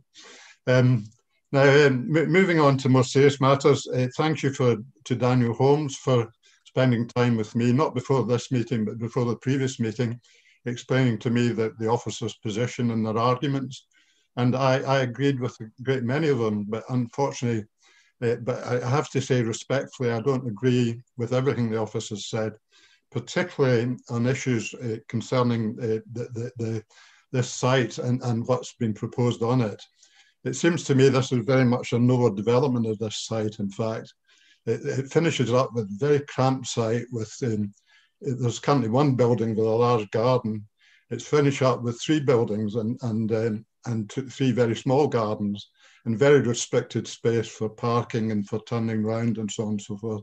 So I think it's very much uh, uh, overdevelopment of the site. I, rather, rather like the previous application, I think there was a possible application that would have succeeded or could have, in my opinion, succeeded. I think one building in the site would, would be adequate and, and could possibly have passed. Um, I also respectfully disagree with the with the officers that the the application doesn't comply with the Farnham design statement and the Farnham neighbourhood plan. And neither, uh, it's not just me who thinks that, the town council doesn't agree and neither does the Farnham Society. If I can just quote a couple of comments from the design statement. New development should reflect and be sympathetic to scale and massing of the existing build, build environment and respect the distinctive character of the town. The guidelines further state that the character and pattern of housing near Farnham Park should be respected and views of and uh, to and from the park maintained.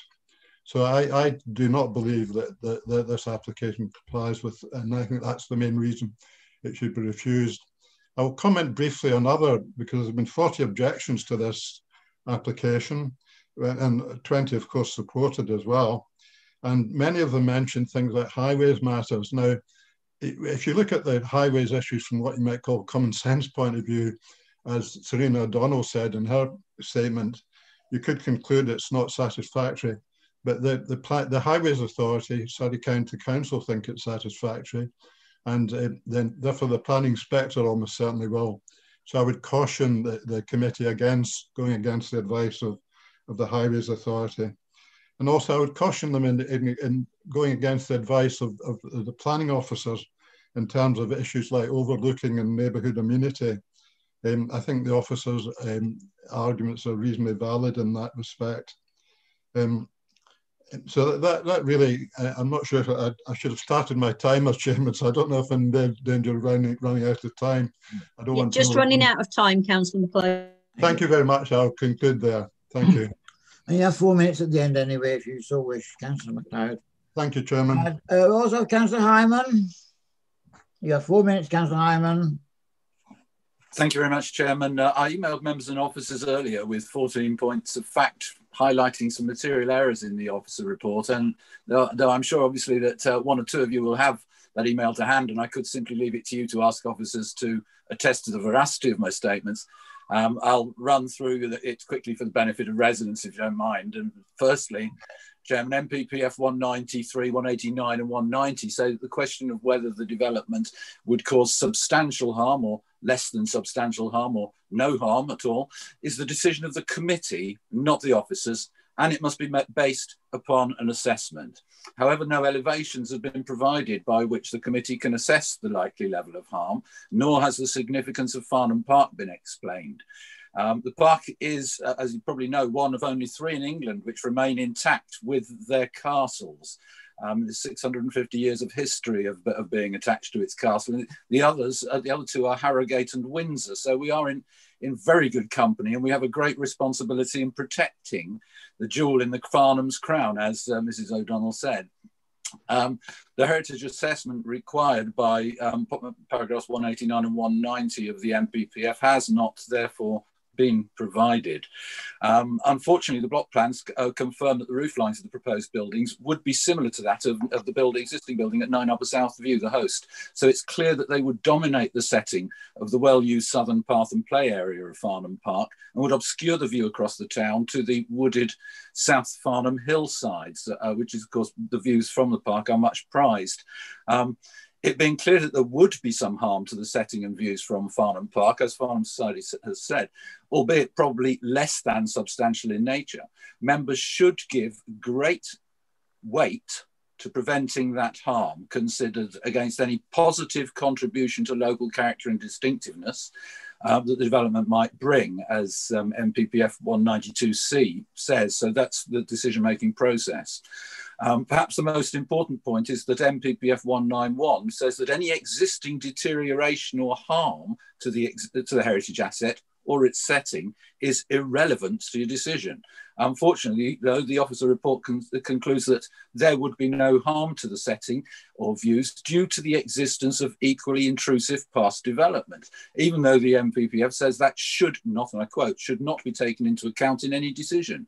So, Chairman, where the officer report states that they have given, quote, great weight to existing harm. That's a clear admission that the officer recommendation is based upon misinterpretation and misapplication of the NPPF and of the Ash Manor and, Bram- uh, and uh, Barnwell judgments. So the, the officer reports claim that any harm should merely be given considerable importance and weight is also incorrect, as, as Beth explained earlier.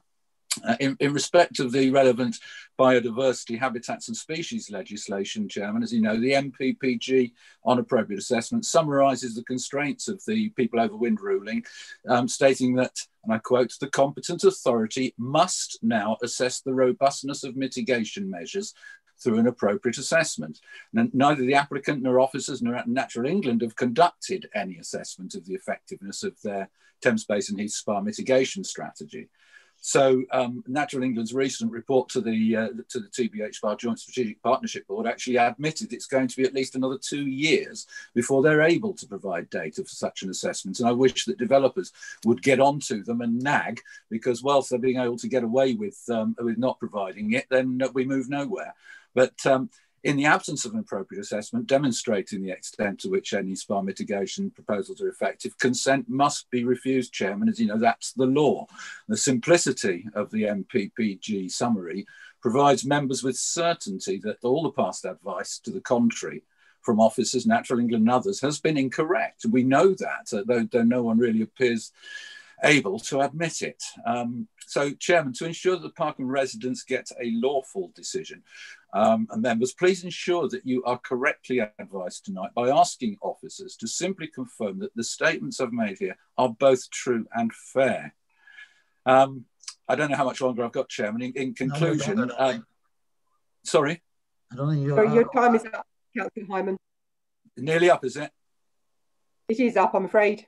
Oh, uh, if I could just simply say that in conclusion, that there are a number of policy issues which residents in the Farnham Society and Councillor MacLeod have, and the public speaker, Mrs O'Donnell, have so eloquently covered. And uh, as a last word, I would like to thank Beth for her excellent summary of the Ash Manor judgment, um, Chairman. Thank you very much indeed.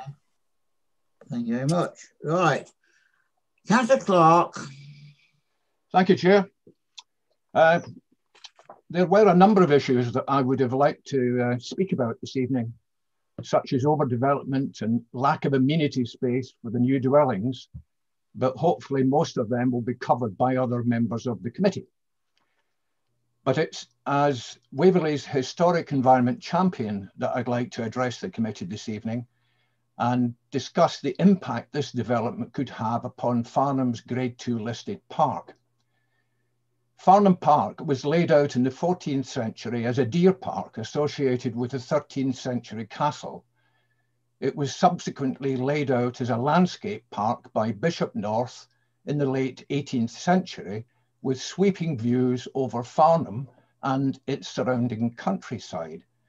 So the park is of national importance and a fantastic asset to the borough. So we, we, we should be ensuring that its historic environment is protected. I must say that I'm disappointed that the Council's conservation officer is only afforded one single paragraph in the officer's report. But I'm even more disappointed that he doesn't seem to offer or be allowed to offer any view or opinion that would lend weight one way or the other on if or how this development would impact on this heritage asset. The officer has mentioned NPPF paragraphs 193 to 196 in his report, but has made no mention of paragraphs 189 and 190, which also carry great weight upon this application. it does state in NPPF 189 that local planning authorities should take into account the significance of any heritage asset affected, including any contribution made by the setting of the heritage asset. In NPPF 190, it states local planning authorities should also identify and assess the particular significance of any heritage asset that may be affected by the proposal, including any develop, and it repeats, that affects the setting of the heritage asset. This should be done to avoid and minimize any conflict between the heritage assets conservation and any aspect of the proposed development. Considering the potential impact this proposal may have upon the setting of Farnham Grade Park, Grade 2 listed park, it is clear that it will have a significant impact as the site six sits directly adjacent to, adjacent to the park. Looking more closely at the meaning of setting as it is defined in the NPPF as the surroundings in which the heritage asset is experienced. In terms of the surrounding, these can be from outside the park looking in or from inside the park, park looking out. Certainly from inside the park looking out, it would be reasonable to argue that this development will have an impact upon the significance and distinctive character of the park, as the buildings in this development will be highly visible. Sorry, I've just lost my place in my notes. Uh, will be highly visible uh, from the park. The officer's report on page 15 states that tests in the NPPF I have already mentioned are not relevant in this case as the proposed dwellings will be no closer to the park than the existing adjacent dwellings. However, when I went to have a look at this site last month, excuse me, I went to the park and I walked along the perimeter and I could only detect two houses in the vicinity directly adjacent to the park. The vast majority of houses have their backs to the park with long gardens separating them. Now, to summary, to summarize, not only that, but the ground outside the perimeter of the parks is on a downward slope. So the other houses do not obscure the view from the park. So I cannot accept there is no harm identified and no detrimental impact to the park setting, as the views from the park over Farnham will be blocked by these proposed dwellings. Thank you. Thank you very much. Uh, Councillor Martin. Muted. Michaela. Muted.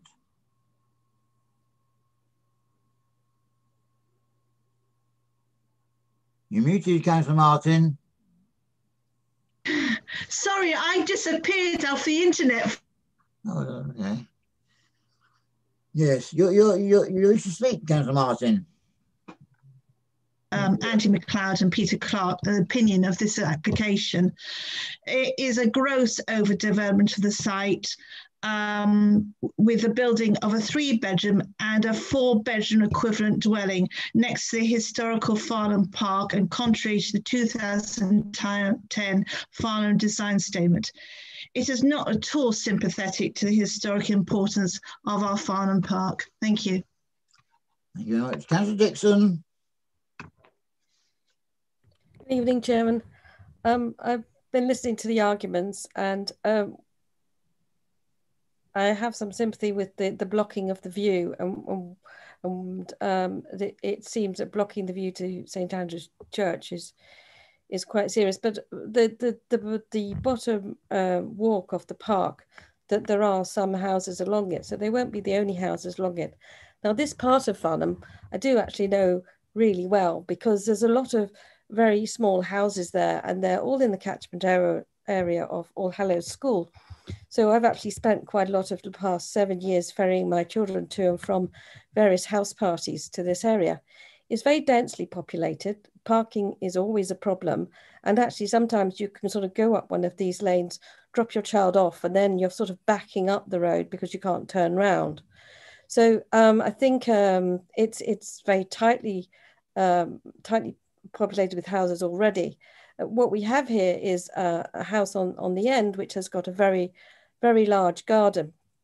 And, and what I really do like about this is that uh, I, I, accept that we are going to have a lot of flight flats in both Brightwells and Woolmead, but these are, are smaller, more affordable properties, which are going to be extremely att attractive to older people and even to single people who would like a, a more sort of Farnham uh, lifestyle.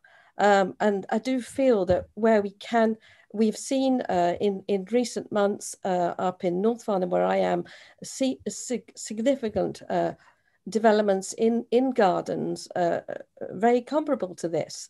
And and i think this is a very attractive property. It's a smaller property. It's an affordable property. There are trees um, along the fence we saw those in the we see those in the park and in the illustrations that presented today so i would like to say as part of a diverse um, accommodation offering within farnham this is is is really very nice indeed and so I, I do think it's a very attractive proposition. Thank you. Thank you very much. Councillor Cockburn. Yes, thank you, Chairman. Uh, I mean, I really couldn't disagree more. It's not that I don't like the individual properties, that's a different matter.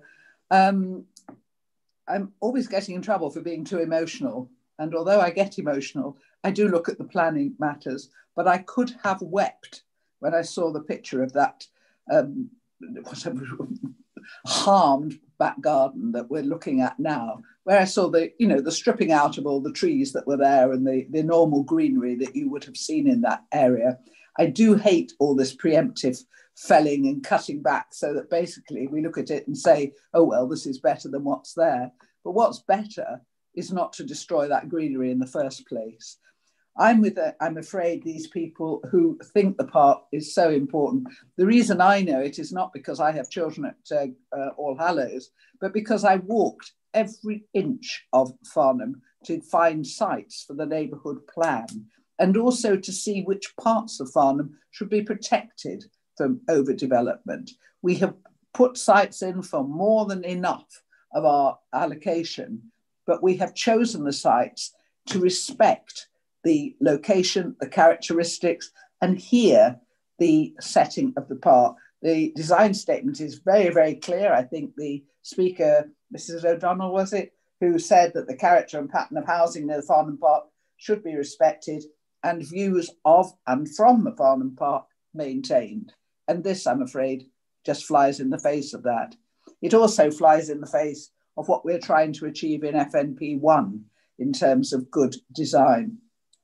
So my other reason for disliking it, and I, those of you who've been on the committee with me for any time would know, I cannot stand obscured glazing in habitable rooms.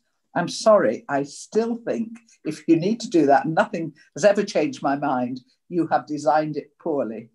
You know, you should not have to do that. Bathroom's fine, even the odd stairwell but I'm sorry, an inhabited room, a habitable room, I think should always be designed well enough to have clear glazing. I can't imagine working in a kitchen where you couldn't see out, it would be awful. Um, so, uh, for all sorts of reasons, um, but mainly the effect on Farnham Park and the character of that area um, just round the entrance to the park. And we saw what delightful property was on the corner um, as we were looking at the officer's presentation. So I don't see how we can possibly accept this or accept that it doesn't harm the setting of the park. And the park is, I, I think Councillor Hyman said, one of three. It is an exceptional park, and it's a park that we treasure. It's the heart, lungs, whatever of the town, um, along with the other treasures we have. So I'm afraid, I think, for the protection of the, ha- the asset alone, I couldn't support this. I think by ripping out the trees automatically and exposing an awful lot of built form, you are automatically destroying views from the park. Uh, and I just think this is unacceptable. And I have to say, when I saw that first line, I really could have wept.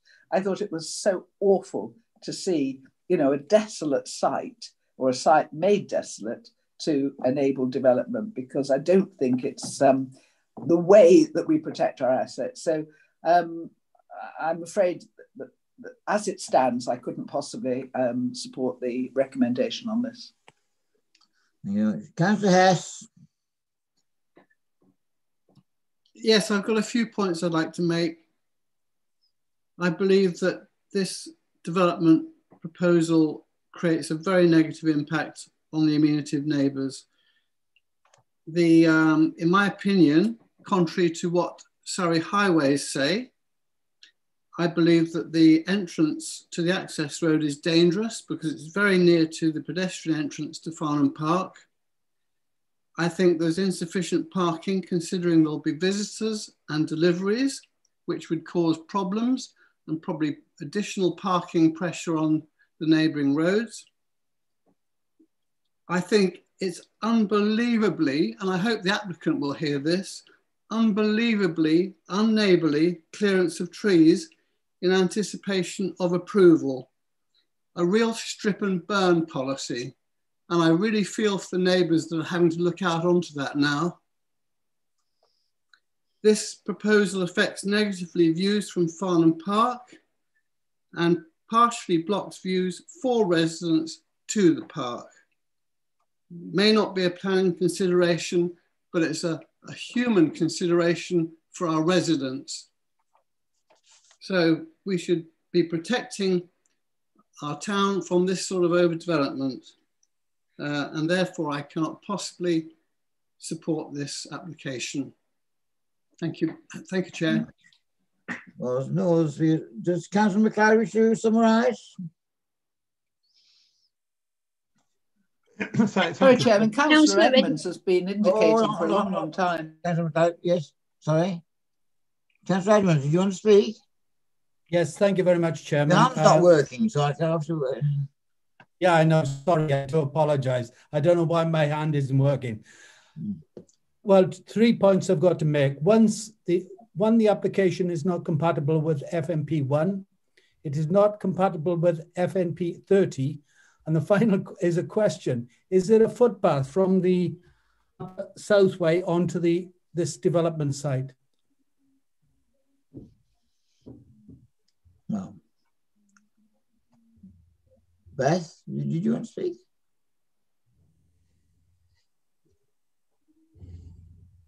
Could you answer that question actually that Councillor said actually? Daniel or Chris? Um, thank you, Chairman. Uh, would it be helpful if we move to the photographs that show the entrance to the um, site that Kimberly had on the presentation, oh, just to yeah. clarify? Um, yes, please. To clarify that, that side of things. Thank you.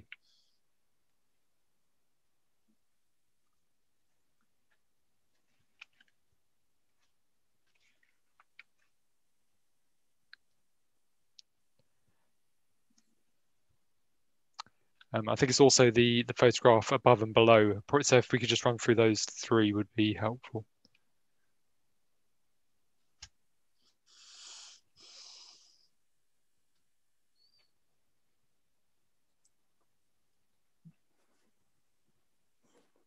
So um, uh, back, um, Kimberly. Thank you. Um, a further one back.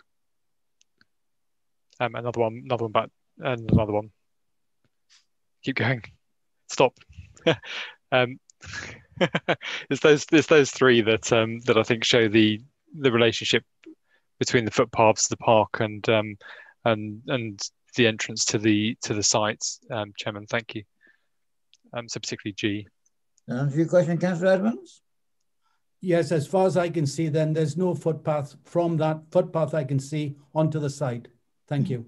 Thank you very much. Right, right. Uh, now, can we just go back? Right, did anybody else want to speak? Well, okay. Uh, Councillor, Councillor McLeod, sorry, you, you still like to sum up? Yes. Um, I I thought I had somebody else coming in there, Chairman, but that's not. Yes, can I just come in one more time? Sorry, Chairman. Well, okay, Councillor Dixon. Well, yes, you, you want yeah. to say? Can uh, can we look again at at the Chris's uh, French's pictures of the boundary again because it does seem to be there's quite a lot of trees along there, and I know that that where this is, and the the uh, this one. Yeah. That one. Yeah. Strip and burn. Yes, but the, the, the, the trees that we can see there, Council, are inside the park, aren't they? Mm. So there, there is a, a, a, a natural barrier there inside the park because actually I was walking, I walk this path a lot all the time. And during the summer, I was walking along this path and one of these fences, the chap was out painting the other side inside the park and there was no trees at all. So there are houses a bit further along from here where the houses are right up against the park wall. So there is actually a barrier of trees here. So yeah, I just thought I'd bring that attention because uh, we a lot about this and, and, and this is what it actually um, is. Thank you. Thank you, Chairman. Thank you very much. Right, okay, right. We're, uh, Councillor McLeod, finally, it is your turn to sum up. Uh, thank, th thank you, Chairman. I don't think I need to say very much because I think it's been a very good discussion and very good arguments put forward. Um, the, the, the, only councillor who's spoken who seems to be in favour is, is Councillor Dixon, and I, I, Dixon, I understand why some of the points she's made. There is a need for, you know, affordable housing and, and so on in Farnham, but there's quite a lot of that being supplied actually within the, the local plan and within the neighbourhood plan, and I don't think it's um, a good argument that this, a sufficiently good argument this development is necessary for that purpose because it is overdevelopment. I think the site could have uh, perhaps dealt with, had one small house, but that's not what we're here to decide on. Um, and I think in terms of the, the other speakers, by and large, the, the reason put forward potentially for refusal seemed to me to be broadly appropriate. I'll say to my friend, Councillor Hess, who I normally um, completely respect his, his views, I, I don't think it would be wise to comment to refuse on the basis of highways matters. Um, I'll point out, actually, I learned recently that planning inspectors occasionally watch uh, local committee meetings online if they're, if they're coming to a, a close decision. So it's important that we actually put forward uh, reasons and have discussions that will, will not be um, regarded as unreasonable to planning inspectors. I don't, I'm not saying that to constrain development, but just be aware, and I wasn't aware till recently that planning inspectors can sometimes be listening to your words before they come to final final decisions. I don't know how often it happens, but it clearly happens because I saw it referred to in a, in a specific planning appeal. So that's all I want to say, Chairman. Thank you very much for the opportunity to sum up. Thank you very much. Right, uh, right, okay. Chairman, can I answer that, please? Well, do you mind? Because you know, if a child comes out of that entrance to the park and gets knocked over and injured by a courier driver who are always in a hurry, then I'm sorry, I don't really, and I don't care if an inspector is listening, frankly. I'm not bothered um, because they're perverse in their decision making anyway, mm-hmm. in my opinion. Well. My personal opinion, I'm not speaking for the council, just me, all right? But okay. if somebody's injured coming out of that narrow little choke point, you made your point, Councillor Hess. Very highways can eat their words. You made your point, Councillor. Thank right. you, Chair. Right, uh, let's make, um, we have to come to the recommendation, which is that subject to conditions 1 to 16 and informatives 1 to 14, permission be granted. Kimberly, can we have the poll, please?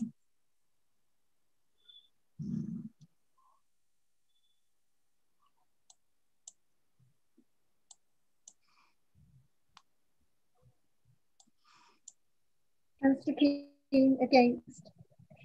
Thank you, Councillor Keen. So with Councillor Keen's um, vote against, that's two in favour, 12 against and one abstention. So um, that right. recommendation has fallen. Thank you very much. We need an alternative, uh, an alternative proposal.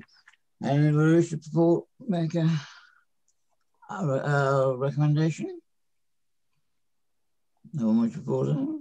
Yes, I, I would. Development of site. Sorry, Carol. No, after you. I'll second you.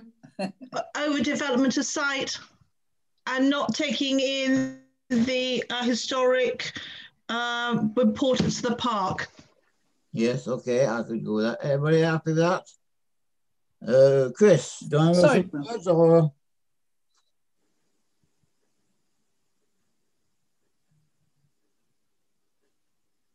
Yes, Chris. Um, thank, thank you, Chairman. Um, in terms of the heritage, um, the heritage point, is a matter of judgment. Um, but the, I think the thing to be aware of is paragraph one nine six of the um, of the NPPF. So um, where where development where the development proposal would lead to less than substantial harm to the significance of a designated heritage asset. This should be weighed against the public benefits of the proposal, um, where appropriate, securing the optimum viable use. So um, if you do come to the conclusion that there is less than substantial harm, um, you would need to assess that against um, the uh, against the um, the public benefits. Um, but the weight obviously means that you would attach you would attach um, great weight to the the heritage asset in that balance. So the balance that you would apply um, would be one tilted towards um, preservation of the asset if you find harm.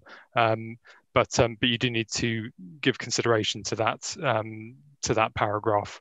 Um, the the other point was yeah that, that's all. Thank you, Chairman. Right. Okay. On those two grounds, and we could agree the wording again. I would suggest that we could, final wording of the uh, uh, alternative uh, recommendation will be subject we, I'm sorry, Chairman. Can we can we just roll back a bit because we've agreed to an alternative recommendation and had it second, but I don't think we've agreed to go with just Councillor Martin's words no, at that no, point. No. I think we need a bit more on that. Okay. I mean, we just had from something from Chris. Well, I mean, I, I, I think we have to say that having weighed the balance, I mean, given that we have an up-to-date neighbourhood plan that's fully made, that we have allocated sites for, you know, all the houses that we need, we're not in desperate need of housing. And at this point, I think the balance weighs in favour of protecting the heritage asset. I don't see that it doesn't, because you know that is such an important asset, uh, and to squeeze in three houses that are not strictly needed um, seems to me perverse. Brian's got a good one. FNP1, FNP30. Right, Councillor Dixon. Yes, I mean, this squeezing in of, of houses. I mean, this is a very, very densely uh, place where there's lots of houses already. It's, it's not the, the and there's there's quite a good spacing we that was laid out very well for us earlier on. And there is parking on site and of course we've got the deliveries which i can see that point. But then i've just we've just had another look at chris french's photographs. Was absolutely clear to all of the members that there is a line of trees alongside the fence between these properties and, and the park. And admittedly the trees are on the park side but it is just uh, what the, the planning officers just said to us if we think there's going to be uh, damage to the heritage site, we've got to be absolutely clear on this. And, and if there's um, a line of trees there, um, and there are uh, further along other uh, bungalows and houses right up against that fence, are, are, we absolutely sure? I mean, I can see the point of view and the views and all that is absolutely mm. very well made, but um, this is a very densely um, populated area already. So I think um, this development could has got 20 letters of support. And and well, and so what, what, what let's just keep that in mind. Thank you. Yeah okay the point about the heritage asset heritage asset must be a long dread the heritage asset point is it is the longer views to and from the heritage asset. It's not just the immediate effect of this development, it's the effect that, the effect that that development will have in the longer views that at present exist to and from the park. And that's what's in the design statement to maintain the views to and from the uh, heritage asset. And that's what I think are endangered by putting in development of this size, cramming two buildings together uh, and removing some of the, you know, the, the screening. But it is the wider views that I think we're trying to protect. Chris, where have we gone? Where there? Thank you, Chairman. Um, do you want me to sum, summarize what I think yes, we've heard? Please, please that, do. Okay. Um, so bear with me two seconds whilst I, um, if that's okay, whilst I just get um, get my notes together. Um,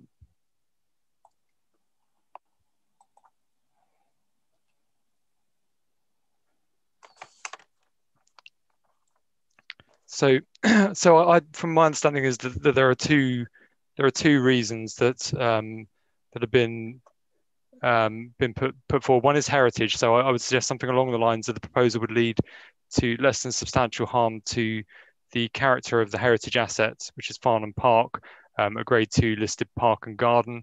Um, the identified less than substantial harm would not be outweighed by the public benefits um, of the additional three dwellings, um, and as such would be in conflict with Section 66 of the um, of the Listed Building Conservation Areas Act, Policy HA1 of the Local Plan, um, Part 1, 2018, and retained policies HE3 um, and HE5 of the um, 2002 local plan, along with the guidance that I um, that I set out in the um, in the NPPF um, and um, FNP one, which was referenced referenced earlier.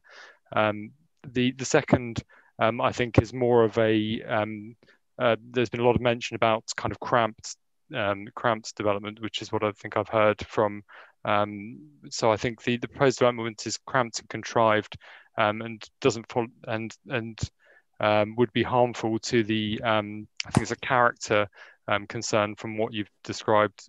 Harmful to the character of the area would conflict with policy TD1 of the local plan part one policies D1 and D4 of the local plan 2002 um, and FNP1 again. thank you, Chairman. Can I could just come back, Chairman, and add the Farnham design statement to your first point, because that is very clear on views to and from the heritage asset.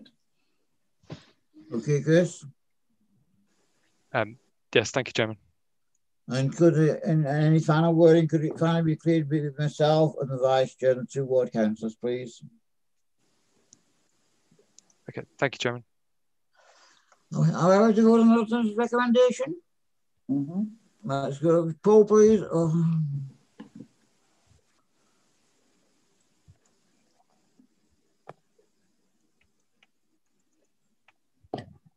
Councillor Keen for.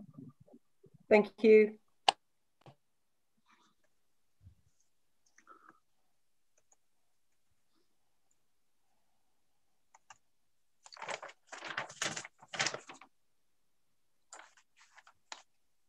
So that's uh, 12 um, for the recommendation to refuse for those two reasons, two against, no abstentions. Right then, fine. Okay, well, that concludes that one. Right. Thank you. So the alternative recommendation is passed. Right, there being no further items to be concluded and exempt, that concludes tonight's meeting. I will say to everybody that there's no items I know of for, for the 2nd of February. So the next meeting is likely to be the 16th of February. Thank you very much and good night, everybody. Thank you, Chair. Good night. Good night. Thank good you. Night. Thank you, Chair. Thank you. Thank you.